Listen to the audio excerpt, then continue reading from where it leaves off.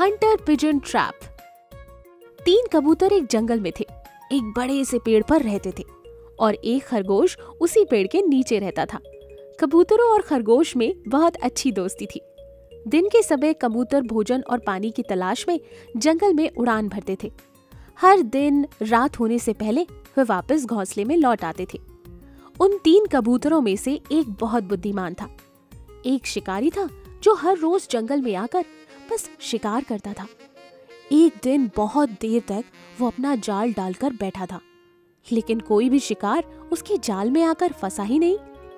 कुछ टाइम बाद कड़ी धूप हो गई और वो वहीं जंगल में सो गया। हर दिन हमेशा की तरह कबूतरों ने भोजन की तलाश में आसमान में ऊँची उड़ान भरी। अचानक एक कबूतर चिल्लाया। कबूतर ने कहा अरे बस बस नीचे देखो देखो, अच्छी मात्रा में अनाज बिखरा हुआ है। चलो चलो उन्हें खाएँ। लेकिन बुद्धिमान कबूतर ने उसे अच्छा विचार नहीं माना। उसे संदेह हो गया था कि ये पक्षी पकड़ने वाले द्वारा बिछाया गया जाल हो सकता है। इस घने जंगल में चावल की इतनी मात्रा पाई जा सकती है क्या? उसने सोचा।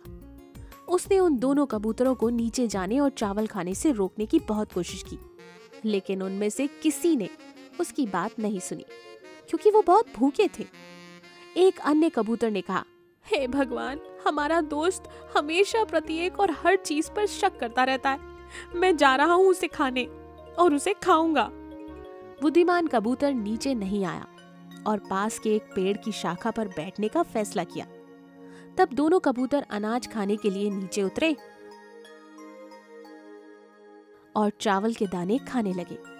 जल्द ही उन्होंने पाया कि वो कार्डबोर्ड में फंस जाने के कारण हिलने डुलने में असमर्थ थे। कुछ देर बाद जब शिकारी सोकर उठा तो उसने देखा दो हट्टे कट्टे कबूतर उसके जाल में फंस चुके थे।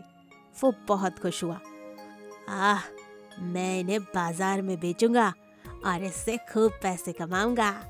वही दूर पेड़ पर बैठे बुद्धिमान कबूतर ने शिकारी को कबूतरों के पास आते देखा। कबूतर जाल से मुक्त करने की पूरी कोशिश कर रहे थे। अब हम क्या करें? हमें क्या करना चाहिए? हम कितनी भी कोशिश कर ले हम इस जाल से छुटकारा नहीं पा सकते। वो ज़ोर ज़ोर से रोने लगे। कृपया हमें बचाओ। हे दोस्त बुद्धिमान कबूतर हम भीख मांगते हैं। हमसे गलती हो गई जो हमने तुम्हारी बात नहीं सुनी। हमें बचाओ दोस्त। कबूतर ने अपने प्राणों को जोखिम में डालकर शिकारी के ऊपर वार करना शुरू कर दिया। कबूतर के प्रहार से शिकारी को कुछ समझ ही नहीं आ रहा था। वो परेशान होकर बचने लगा, मगर कबूतर शिकारी को ज़्यादा देर तक रोक नहीं पाया और वो जाल की ओर आ ही गया। शिकारी ने कबूतरों को पकड़ लिया और बोला, अब मैं तुम्हें बाज़ार में बेचूँगा और अच्छे पैसे कमाऊँगा। इस बीच बुद्धिमान कबूतर अपने दोस्त हिरन और बंदर से मदद मांगने के लिए उड़ गया और अपने दोस्तों को सब कुछ समझाया। दोनों दोस्तों को एक विचार मिला।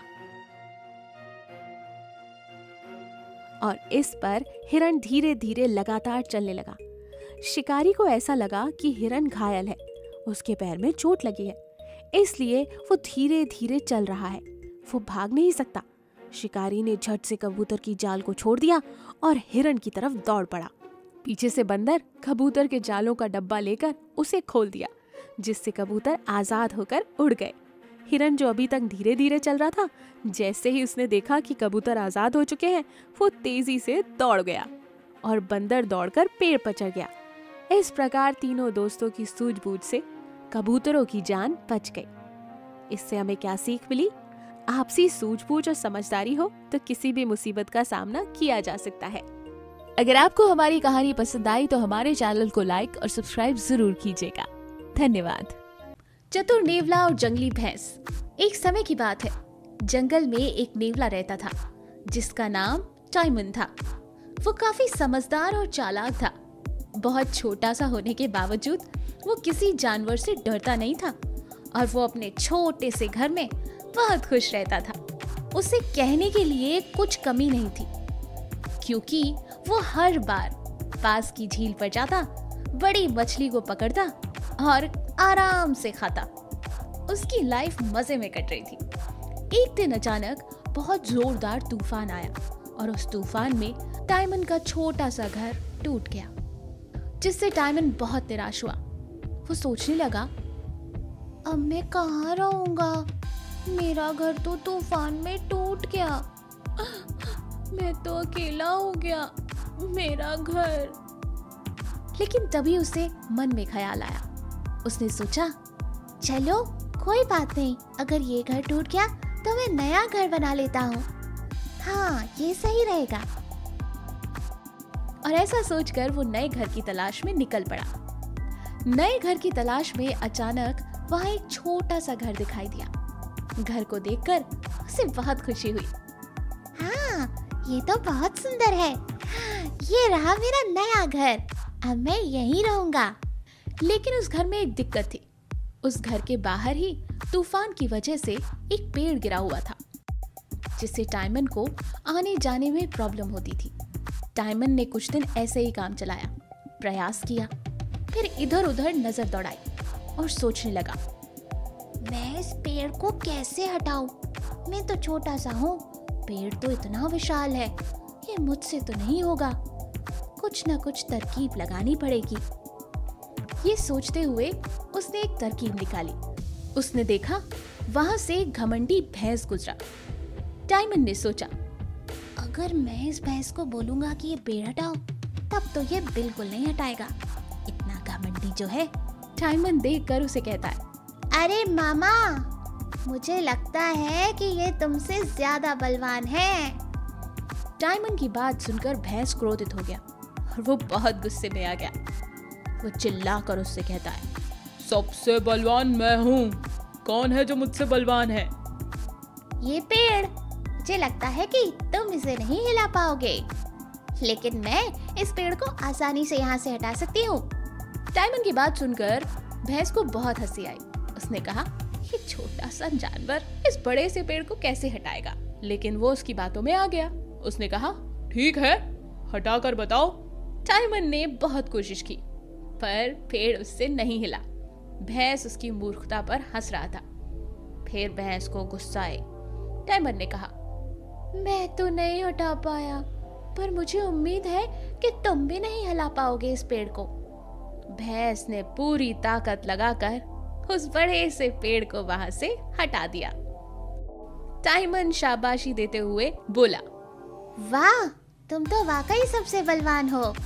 अपनी तारीफ़ सुनकर भैंस ने अपना सीना चौड़ा किया। टाइमन ने उसकी तारीफ़ की और मनी मन बड़ा खुश हुआ।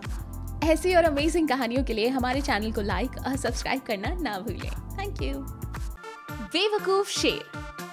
एक घना जंगल था। जंगल का राजा शेर था। शेर के पास एक लोबड़ी थी। वो हमेशा ही शेर की झूठी तारीफ़ करती रहती थी। एक दिन शेर लोमड़ी से पूछता है, इस जंगल के जानवरों में मेरे बारे में क्या सोच है? जरा मुझे बताओ तो सही। क्या बताओ महाराज? जंगल के जानवरों को आपका महाराज होना बिल्कुल पसंद नहीं। किसी ने भी आपके बारे में कुछ नहीं पूछा। इस जंगल के सारे जानवर मुझसे डरते हैं। मेरा सामना कोई नहीं कर सकता। हा हा हा हा। एक काम करो तुम जाकर सारे जानवरों को मेरे सामने आने के लिए कहो। लोमड़ी जानवरों को बुलाने जाती है। उसी जंगल में एक हाथी था जो बहुत ही होशियार था। लोमड़ी हाथी से कहती है जंगल के महाराज ने आप सबको बुलाया है। जिस पर हाथी लोमड़ी से कहता है क्यों बुलाया है? वैसे भी उस कम अकल की तारीफ़ हम नहीं सुन सकते। मुझे क्या पता आप सबको क्यों बुलाया है? चुपचाप आ जाना। मैं बस ये कहने आई थी। ये कहकर लोमड़ी वहाँ से चली जाती है। हाथी और बाकी के जानवर शेर के पास हाजिर होते हैं। फिर शेर उन सबसे कहता है मैंने पास के जंगल के राजा को हाथी पर बैठकर सवारी करते हुए देखा है। मैं भी इस हाथी पर बैठकर सवारी करूँगा। ये सुनकर हाथी कहता है महाराज आप अगर मेरे ऊपर बैठोगे तो आप गिर जाओगे। तुम्हारी इतनी हिम्मत कि तुम मेरा मज़ाक उड़ाओ और मेरे सामने जवाब दो आज मैं सबके सामने कहता हूँ। अगर मैं तुम्हारे ऊपर सवारी करते हुए गिर गया तो मैं ये राजपाट छोड़ दूँगा। ये सुनकर सारे जानवर खुश हो गए। इसके बाद शेर उठकर हाथी पर बैठता है। हाथी के चलते ही शेर नीचे धड़ाम से गिर जाता है। और उठकर खड़ा होकर फिर कहता है मैं राजा हूँ मैं राजा और मैं राजा ही रहूँगा। कोई इस्तीफा नहीं देने वाला मैं। मैं गिरा हूँ हाथी की गलती की वजह से। जिस पर हाथी कहता है ये क्या महाराज? आप बात से मुकर गए हैं। महाराज के कुछ लक्षण होते हैं। बेवकूफ़ की तरह पेश आना अच्छे महाराज का लक्षण नहीं है। ये सुनकर लोमड़ी कहती है अच्छा तो हम एक काम करते हैं। बाकी के जानवरों को पूछते हैं, जंगल का राजा कौन होगा, शेर या ये हाथी? इसका फैसला बाकी के जानवर ही करेंगे। जो भी लोग शेर को पसंद करते हैं, वो शेर के पास आकर खड़े हो जाएँ, और जो लोग हाथी को राजा बनाना चाहते हैं, वो हाथी के पास खड़े हो जाएँ। जंगल के सारे जानवर हाथी के पास जाकर खड़े हो गए। बेचारा शेर शर्मिंदा होकर जंगल छोड़कर चला गया। अगर राजा बनना है तो कुछ होशियारी भी ज़रूरी है। अच्छी लगी ना कहानी? तो जल्दी से हमारी इस वीडियो को लाइक करें और शेयर करें। और ऐसी और कहानियाँ देखने के लिए हमारे चैनल को जल्दी से सब्सक्राइब करें।